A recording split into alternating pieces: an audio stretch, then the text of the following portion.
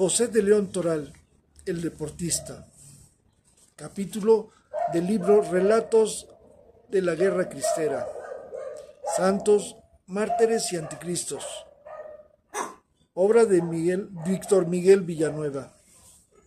Un libro que fue publicado por Agua Escondida Ediciones en su primera edición en enero de 2023. Vayamos a José de, León Toral, el deportista. José de León Toral fue el autor material del magnicidio del 17 de julio de 1928, con el que le quitó la vida al presidente electo Álvaro Obregón en el restaurante campestre de La Bombilla, en San Ángel. Por tal crimen fue fusilado en febrero de 1929 y sobre su vida se ha escrito casi todo, incluso que fue deportista, practicante de gimnasia, box, básquetbol y de tener una genuina, pasión por el fútbol. De hecho, hay la posibilidad histórica de que, de que José de León Toral haya sido en algún momento jugador del Club América. De León Toral nació en Matehuala, San Luis Potosí, en abril de 1900. La vivienda donde nació y creció en pie, pero ahora es una tienda donde, a decir de su tío paterno Jorge Antonio de León, hace un par de años se colocó una placa para constatar el hecho de que ahí vivió el asesino de Álvaro Obregón, y a quien desde 2003 se busca llevar a los altares como mártir de la Iglesia Católica. José quiso en su juventud estudiar para médico, abogado o ingeniero. Su hermano, el general Jesús de León Toral, en un libro familiar de título Recuerdos y comentarios sueltos de mi familia, afirma que Pepe, en esos años de juventud, no sentía vocación por el sacerdocio, pese a su religiosidad. El general de León Toral, en su libro, que no fue publicado, asegura, se había convertido José en un verdadero atleta. Practicaba la gimnasia de aparatos y el box, el fútbol y el básquetbol, todo con destreza sin abandonar las caminatas a que tan afecto nos había hecho nuestro padre. El resultado fue el de un cuerpo ágil y poderosamente musculado, casi como el del otro atleta de la familia, mi hermano Pablo. Jorge A. de León conserva fotografías donde se ve a José de León, Toral, practicando con cierta destreza de gimnasia en las barras paralelas. Igualmente hay instantáneas donde practica box y otras, y otras más donde Pepe posa con playeras sin imágenes, sin mangas, y es evidente que, en efecto, tenía el físico de un atleta. El autor del asesinato de Obregón estudió una carrera comercial y trabajó en el negocio familiar de su padre. En 1917 era todavía, era todavía muy retraído declararía a la prensa años después durante su detención por su crimen en la bombilla. En 1920, José de León Toral se trasladó a la Ciudad de México. Fue aquí, en la capital del país, donde se acentuó su religiosidad. Después de trabajar, de trabajar, se dirigía a un templo a rezar un rosario antes de acudir a su casa en Santa María de la Ribera. Sin embargo, su pasión por el deporte persistía y buscó un lugar para practicar su gran pasión, el fútbol. Entré al Centro Unión en 1920 y comencé a jugar fútbol. Entré al Club Deportivo Internacional, en donde tres veces por semana, jugaba básquetbol y los otros días hacía gimnasia. Declaró en los interrogatorios y en el juicio que se que se le realizó tras los acontecimientos del 17 de julio de 1928. Es aquí cuando la historia de José de León Toral se, mezcla con la historia del Club América. Este equipo de fútbol, con más de 100 años de existencia y 13 campeonatos en la era profesional, fue fundado en 1916, pero de 1918 a 1920 cambió de nombre. De América pasó a Centro Unión. ¿Por qué el cambio de nombre? Porque a la institución llegaron grupos de jóvenes de colegios maristas de la capital y decidieron eliminar el nombre de la América, pese a que en sus filas estaba el fundador del equipo, Rafael Garza Gutiérrez. Récord. Un personaje fundamental en la historia de ese club y del fútbol mexicano en general. El historiador Mario Ramírez Rancaño confirma que José de León Toral formó parte de aquellos jóvenes de colegios maristas que se integraron al Centro Unión. Lo hizo con la intención de practicar fútbol, su deporte favorito. En el libro de oro del fútbol mexicano se refiere también al cambio de nombre del América y así lo explica. Fue él, resultado de la fusión de todos los grupos de los colegios y, de, los colegios de los hermanos maristas de Alvarado, La Perpetua, Sabiñón y San José. Igualmente, el libro Águilas del América, cronología de un equipo campeón, sostiene que el cambio de nombre se debió a la llegada de los maristas al club que habían fundado Garza y Gutiérrez dos años atrás. Jorge A. de León cuenta con una con una foto donde su sobrino posa con el uniforme de la Unión.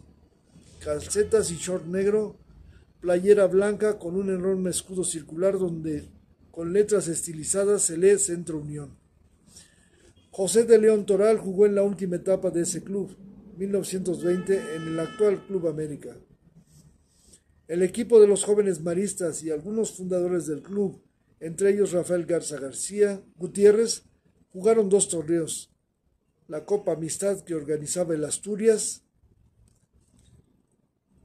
En el libro de oro del fútbol mexicano, en el primero tuvieron un triunfo muy halagador y en el segundo fueron subcampeones. Luego de esto, la misma fuente refiere que Récord aprovechó un momento de discordia entre los maristas para retomar el nombre original de América. José de León Toral todos los domingos acudía a misa y de ahí se iba a jugar fútbol pero por la tarde paseaba con mis amigos bien yendo al cine o a otra parte. Cuando me casé, me dediqué más a mi esposa que a mis amigos. Sin embargo, entre las amistades que hizo en el fútbol está una fundamental y determinante en su vida, la de Humberto Pro, hermano del padre Miguel Agustín Pro y, otro, y tenía otro hermano menor de nombre Rodolfo. Años después tendría una participación sobresaliente en el conflicto religioso armado que se, desató en el país en 1926. Humberto y Pepe eran grandes amigos. Incluso ambos fueron capitanes de los equipos de fútbol a los que pertenecieron. En varias fotografías aparecen con un gafete cada uno. Luego formarían parte de la Asociación Católica de la Juventud Mexicana, ACJM y de la Liga Nacional de la Defensa de la Libertad Religiosa, LNDLR. Humberto pagaría con su vida el intento de atentar contra la de Álvaro Obregón en 1927, mientras que José sí mataría al caudillo y también pagó con su vida por eso. En noviembre de 1927, el general Álvaro Obregón, como ya vimos, fue víctima de un atentado dinamitero en Chapultepec. Entre los responsables estaban Humberto Pro, quien fue fusilado junto con su hermano, el padre Miguel Agustín Pro y el ingeniero Luis Segura Vilchis, este último un auténtico terrorista. Ese día de las ejecuciones, el presidente Plutarco Elías Calles le perdonó la vida a Rodolfo Pro, a cambio de ser exiliado en La Habana, Cuba. Hasta aquel lugar José de León Toral le escribió al menor de los Pro, la revista Proceso publicó en 2012 dos cartas donde el asesino del general Obregón vuelve a mostrar su pasión, incluso fanatismo por el fútbol. En la primera, fechada el 11 de enero de 1928, José de León Toral, al escribirle a Rodolfo Pro, compara el fusilamiento de Miguel y Humberto con un juego de fútbol.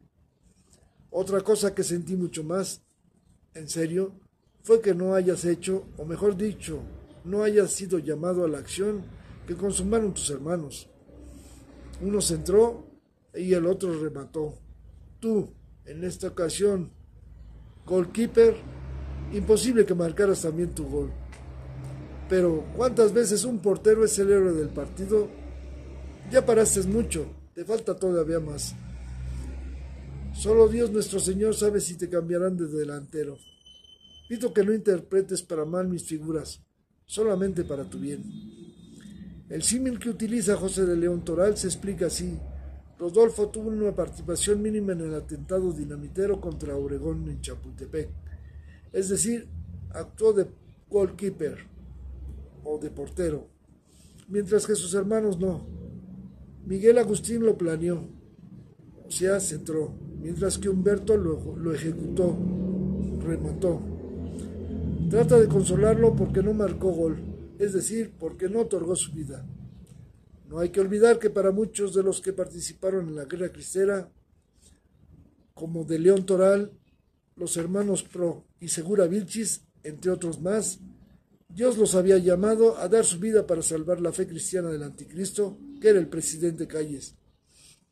Por eso le dice, solo Dios nuestro Señor sabe si te cambiarán de delantero, o sea, si lo llama también a dar su vida por la religión.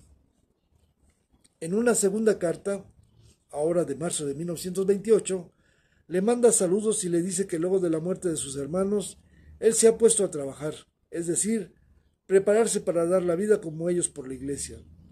Sobre su vida en particular, le habla de sus dos pasiones. He seguido jugando fútbol y aún espero llegar a dar color. Sigo estudiando pintura y también tiro muy alto. Estoy, estoy trabajando por la causa y me voy a contentar con poco. Comprendo que en el fútbol y en pintura podría no convenirme llegar alto, y Dios no me lo concedería.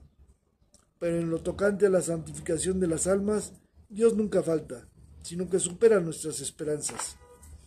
Es decir, nunca dejo de practicar el fútbol, tiro muy alto, o sea, quería llegar a lejos en esa actividad. También habla de su afición por la pintura. De hecho, fue un gran dibujante e ilustró para la prensa cómo fue torturado en las prisiones de Miscuac y San Ángel con una gran precisión. Pero lo más revelador es que sigue trabajando para otra cosa más importante que el fútbol y la pintura. Asesinar a Obregón para alcanzar la santificación. De hecho, luego de que Miguel Agustín Pro fuera declarado beato por Juan Pablo II, un grupo donde están algunos de los familiares de, de León Toral, comenzó el proceso para convertirlo en mártir. Para ser mártir, la Iglesia Católica requiere, entre otras cosas, un martirio material y un martirio formal. El primero se refiere a que el candidato haya sufrido una muerte violenta. El segundo, a que esa muerte haya sido causada por el odio a la fe y que el mártir la haya aceptado por amor a la misma pero, sobre todo, que la causa sea impulsada desde una jerarquía católica, lo cual no parece suceder. Para que una persona sea declarada mártir por la Iglesia Católica, no se, no se requiere de un milagro, como, el, como en el caso de un santo, donde sí es indispensable no uno, sino hasta dos milagros. Quienes impulsan la causa del Padre Pro, por ejemplo, esperan poder comprobar un milagro. El otro ya es haber dado su vida por la causa religiosa. Mártir o no, José de León Toral fue un atleta que esculpió su cuerpo desde muy temprana edad con la gimnasia, el box, el básquetbol, que tuvo una gran pasión, el fútbol. Para este último tuvo la devoción que para la religión. Cada domingo iba a jugar misa y a jugar fútbol le tiraba alto para ser sobresaliente en este, deporte. Asociaba los actos más trascendentales de su vida con el fútbol. Amaba el fútbol. Sin embargo, no llegó a saber que aquel Centro Unión, donde jugó, con el tiempo se convirtió en el fútbol, en el club de fútbol más famoso de México. El camino a la muerte del general Obregón. Hay una, hay una nutrida bibliografía en torno al magnicidio del 17 de julio de 1928. Con curiosidad científica y periodística acudí a las fuentes hemerográficas con el propósito de encontrar algo nuevo, pero no lo había. Solo acontecimientos, descripciones y declaraciones que siempre han estado ahí, pero que no fueron de utilidad para el extenso número de estudiosos que abordaron el crimen de José de León Toral. Uno de esos hallazgos, por así decirle, fue el recorrido que emprendió el general Álvaro Obregón a la Ciudad de México tan pronto se hizo oficial su triunfo en las elecciones presidenciales. La forma en que se le rendía tributo al presidente electo, pensé, era necesario contarla. Álvaro Obregón fue electo presidente por segunda ocasión el domingo 1 de julio de 1928. Dieciséis días después sería asesinado por José de León Toral en San Ángel, Ciudad de México. Los resultados de su elección los conoció en Cajeme, Sonora, donde se desempeñaba como agricultor de garbanzo y chícharo. También estaba enterado de que en el aire flotaba el rumor de que su vida corría en peligro. El caudillo dio órdenes al presidente Plutarco Elias Calles para eliminar a los que él consideraba sus enemigos más temibles y después decidió dirigirse a la capital de la República a festejar su segundo triunfo electoral en ocho años. Y por supuesto, a asumir el control del país desde ese momento. El viaje desde Sonora hasta la Ciudad de México es al más puro estilo del presidencialismo, que Obregón inauguró y sirvió de ejemplo a los, a los políticos del siglo XX, con la diferencia de que el hombre más fuerte del país en ese entonces encontraría la muerte luego de su apoteósico recibimiento por sus partidarios. Antes de entrar a detalle de ese recorrido desde Cajeme hasta la Ciudad de México, entre el 10 y el 15 de julio, hay que detenerse en el hecho de que el rumor de que podría haber un atentado contra su vida era absolutamente real. Pedro Castro relata que, una vez declarado electo presidente de la República para el periodo 1928-1934, ese sería el primer sexenio. Antes los periodos presidenciales eran de cuatro años. Obregón decidió lo del viaje a la capital del país y también ordenó tres movimientos que alejarían, según él, cualquier posibilidad de un atentado contra su vida. El caudillo solicitó la renuncia de Luis N. Morones líder del sector obrero a través de la CROM y secretario de Industria, Comercio y Trabajo del gobierno del general Plutarco Elias Calles. La remoción del subsecretario de Guerra, el general Miguel N. Piña, pues Obregón estaba convencido de que, preparaba un ataque militar contra él. Y el exilio del, del columnista Luis del Toro, quien escribía en contra del caudillo. Tales instrucciones las giró a través de Fernando Torreblanca, quien era yerno y secretario particular de, de Calles, y Aarón Sáez, presidente del centro director obregonista. El presidente escuchó a los enviados, el general Piña fue cesado inmediatamente, el periodista fue exiliado en Estados Unidos, pero Morones permaneció en su cargo. Calles esta vez no cedió. Peso a lo anterior, Álvaro Obregón salió el 11 de julio de Cajeme. Su primera parada fue en San Blas, en Sinaloa. De ahí partiría rumbo al puerto de Mazatlán. Del primer, punto no hay datos de lo que pasó e hizo el presidente electo.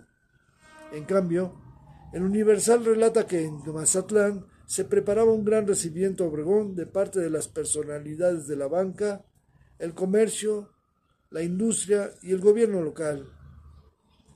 Habría un suntuoso baile en la pintoresca Quinta Echeguren, frente al mar, y que ostentaría una magnífica iluminación. Incluso el corresponsal de dicho diario comenta que los organizadores no sabían la hora exacta del arribo del general Obregón. Sin embargo, ya estaban preparados. Si llegaba por la mañana, lo recibirían con una exquisita barbacoa en la isla de Piedra. Mientras que, si lo hacía por la noche, se le ofrecería un banquete en el Hotel Belmar, con todo y baile. Lo que no se modificaría sería la recepción en Echeguren. Según lo segundo, llegó por noche por lo que se ahorraron la barbacoa. Álvaro Obregón arribó al puerto de Mazatlán con su comitiva formada por el general Fausto Topete, el general y gobernador de Nuevo León Aarón Sánchez, los generales Francisco R. Manso y Antonio Ríos Sertuche, el profesor Manuel Páez y el diputado Ricardo Topete. En otras palabras, la plana mayor del obregonismo. Estos fueron recibidos por los miembros de los sectores que ya mencionamos, pero además por un numeroso público. En el trayecto al Hotel Belmar se organizaron bailes en las principales plazas, como la de la República, Zaragoza y Campo Marte. Además, varias calles fueron iluminadas profusamente. No era para menos. El presidente electo estaba de visita. Del bar de Belmar, tras el banquete y el baile, Obregón y los suyos se trasladaron a Echeguren. El presidente electo estuvo hasta las dos de la mañana disfrutando del baile en su honor y se dijo sorprendido por las muestras de simpatía que recibió de todas las clases sociales.